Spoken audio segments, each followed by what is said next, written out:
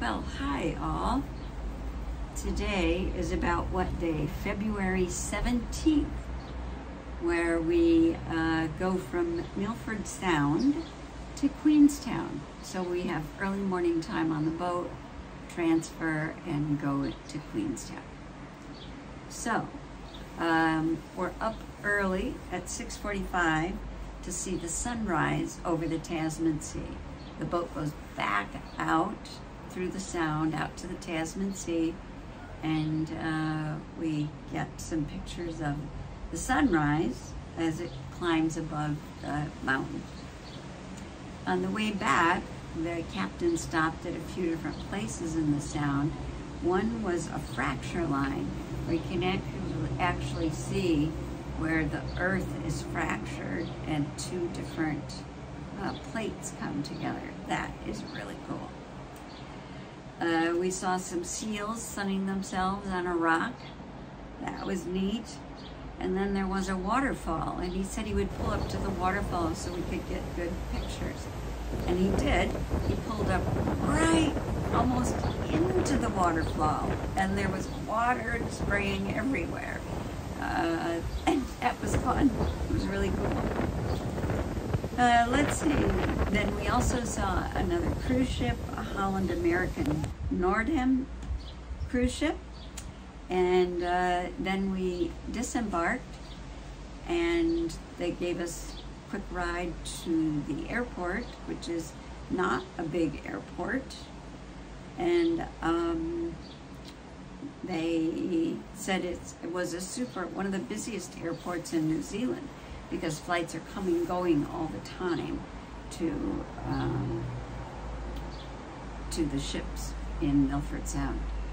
And that was true. While we waited for our plane to come in, there were all kinds of small commuter planes arriving and disembarking, people disembarking. And then uh, while we waited for our plane, we also took a short walk and we have some nice views from that walk, a short walk by the airport. So uh, then on to the airplane once it arrived. Jim, do you want to take over? Yeah, once the airplane had arrived, we split our group into twos. Uh, so there was like seven people on each airplane. And the airplane seat, sat 13 people. They were Cessnas. Um, and uh, so we had lots of room in there. We, each had a window seat. Terry looked out the left, and I looked out the right. Um, and, and, and so we saw somewhat different things. After we took off, uh, one of the things that we could do is look back at Milford Sound and look all the way out to the sea. Uh, we also, once we started flying, of course, we were flying at kind of this intermediate altitude so that oftentimes there were peaks that were higher than us. And uh, and yet we were flying over other peaks and of course rivers and things like that. So so we could go ahead and, and you're probably seeing a video right now uh, where we could look up at the peaks as we were flying and, and down on some lakes and rivers below us.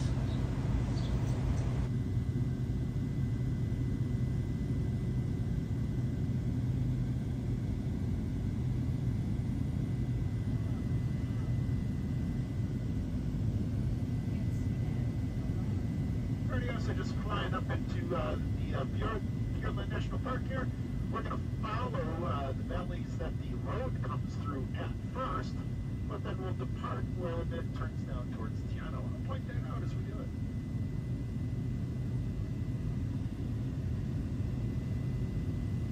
I'll probably go up to about 6,500 feet.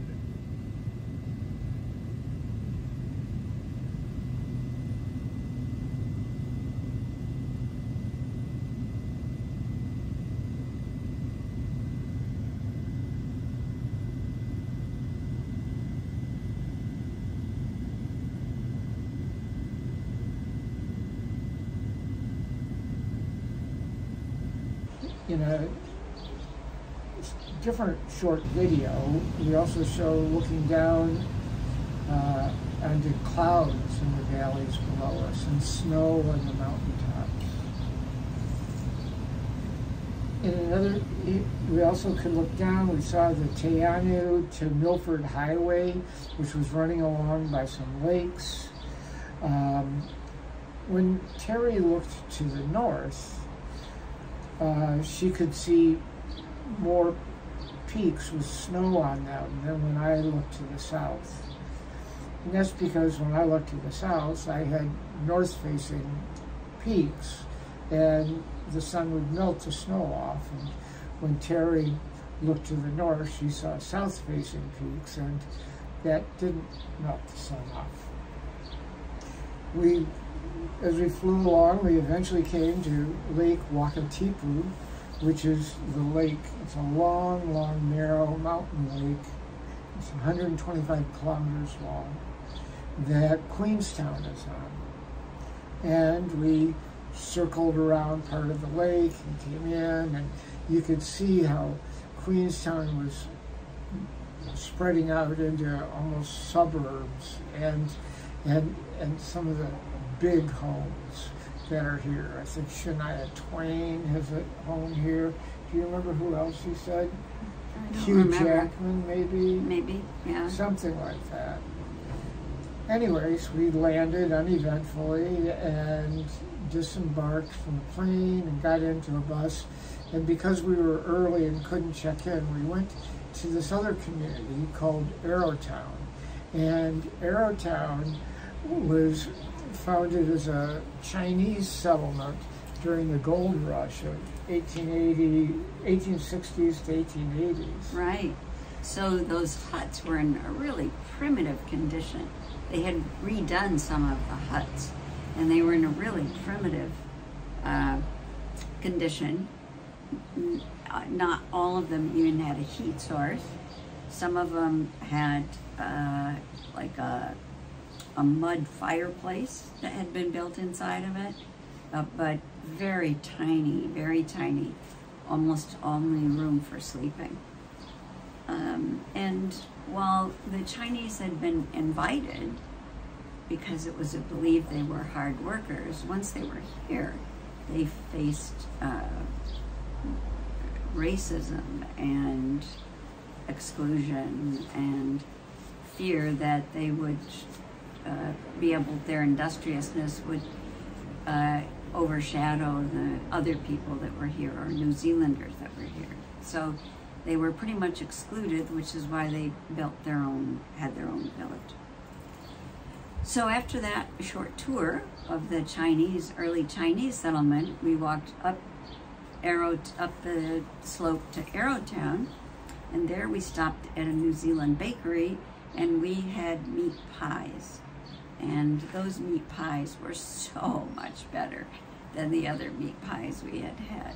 Um, and I had venison, which they do raise venison here, and so I wanted to try that. I had a venison pie, and Jim had uh, you had steak and cheese, I think, I right? had just mincemeat. Mincemeat pie, yeah. Mhm. And uh, they were both good. I can verify because I ate a little bit of his.